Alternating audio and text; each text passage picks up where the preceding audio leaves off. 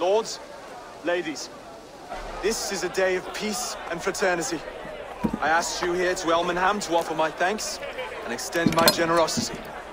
Finir, our steward, to our guests of honor, Brothir and Broder, and to my lovely bride-to-be, Valdis.